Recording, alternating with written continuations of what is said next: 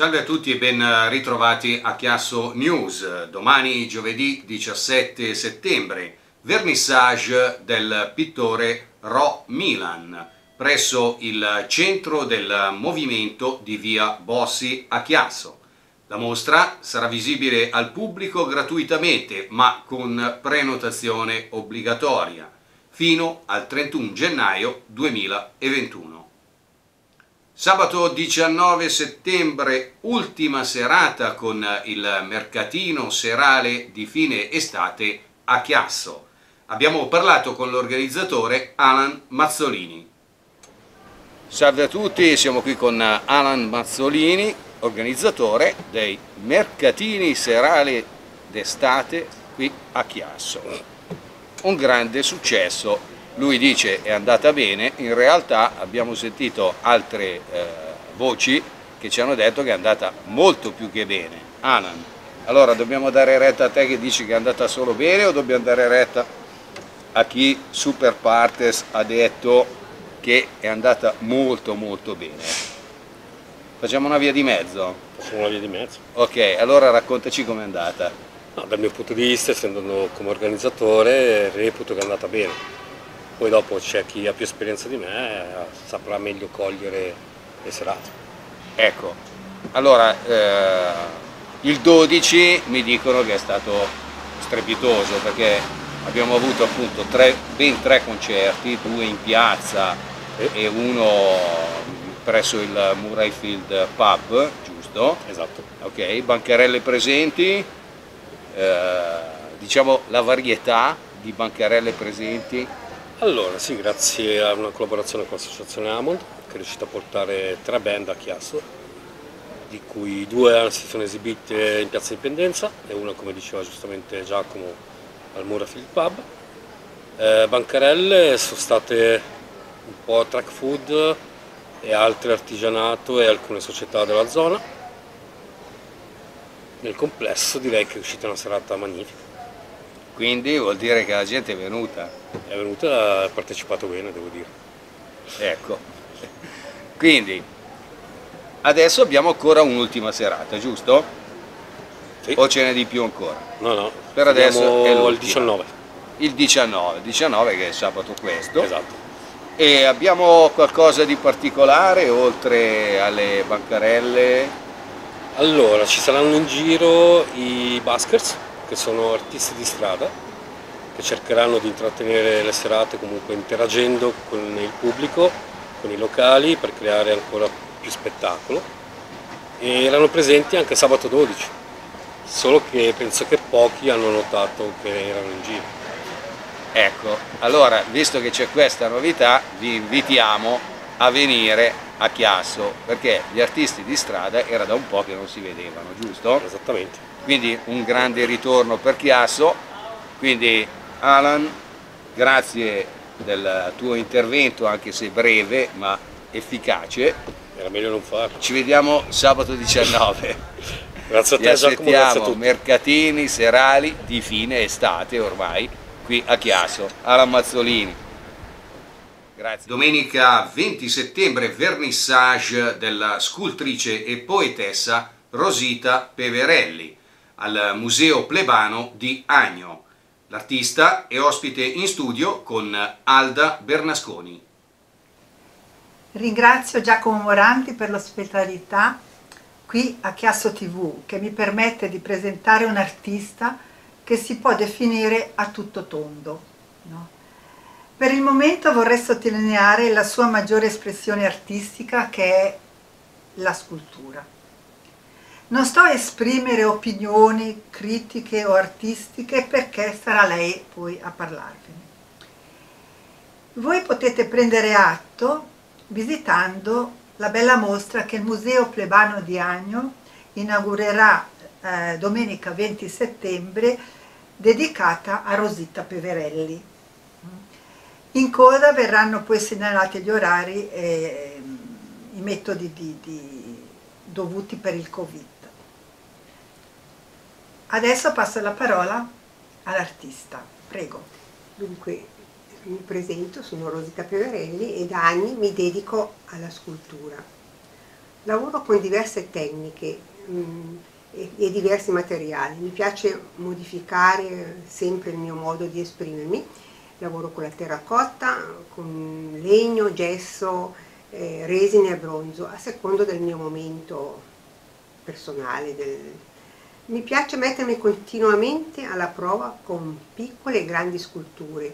E proprio questa per me è una sfida.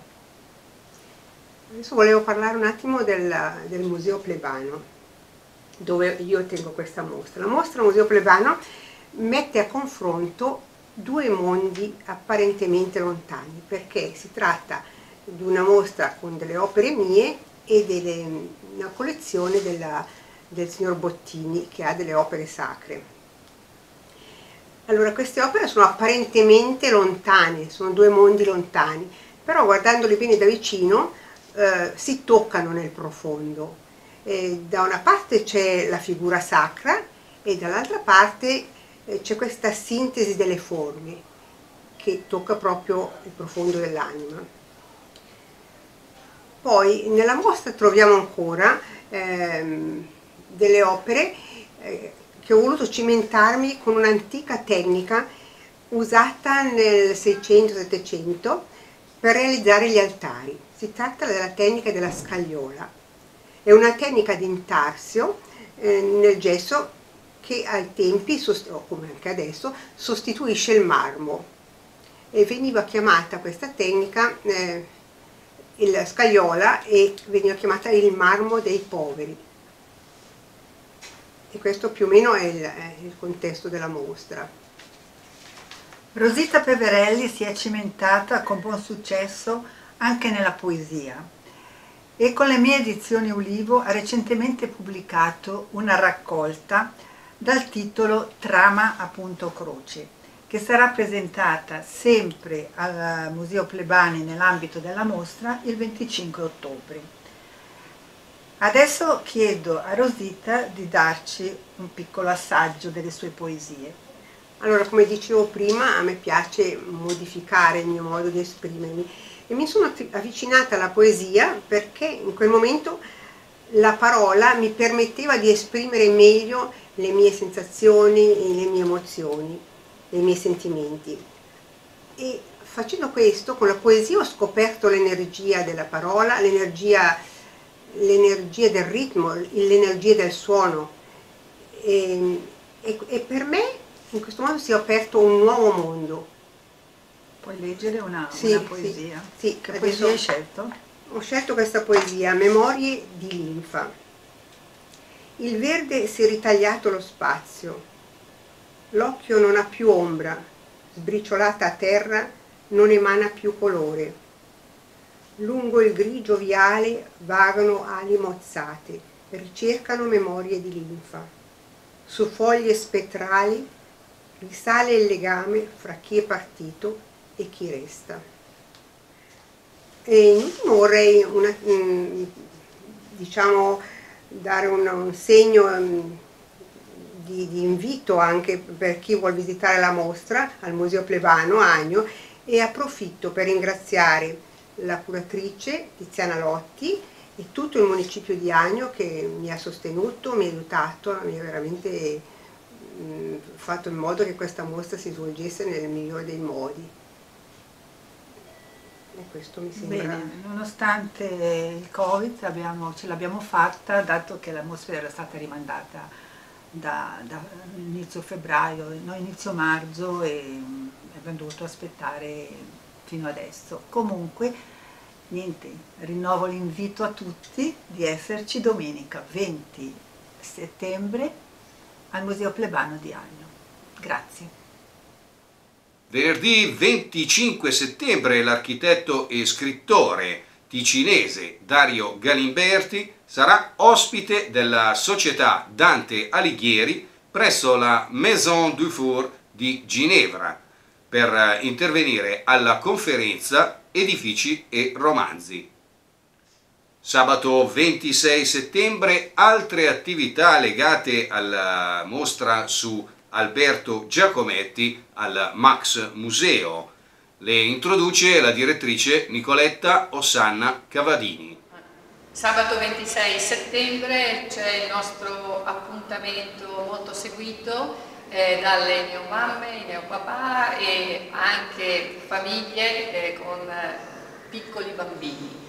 Eh, si intitola appunto eh, Mamma, papà e bebè eh, al museo. dalle 10.30 alle 12 sarà possibile seguire con eh, mediatrici culturali all'interno delle varie sale uno stimolo eh, che non è solo però per i bimbi piccoli, eh, perché è possibile entrare all'interno del Max Museo con carrozzine, passeggini, ma è anche piacere dei genitori di poter affrontare un momento così mh, mm, eh, dedicato all'arte spensierato e anche in confronto con altre famiglie. E quindi eh, mamma, papà e bebè al museo terminerà con un eh, aperitivo analcolico a base di succo di frutta all'interno del Max Museo. Sabato 26 settembre alle ore 16.30 è possibile seguire una visita guidata eh, gratuita con il solo pagamento del biglietto d'ingresso, visita guidata eh, che terrò nello specifico all'interno delle sale del Max Museo e quindi ci sarà un momento con il pubblico che si presenta anche senza prenotazione, massimo è, è i limiti consentiti appunto dalle norme Covid, ma sarà piacevolmente un'occasione per poter guardare assieme le opere di grafica eh, del grande maestro Alberto Giacometti e terminare con un momento eh, di brindisi finale eh, alla chiusura del museo alle ore 18. Per questa edizione è tutto, a ben rivederci alla prossima edizione di Chiasso News.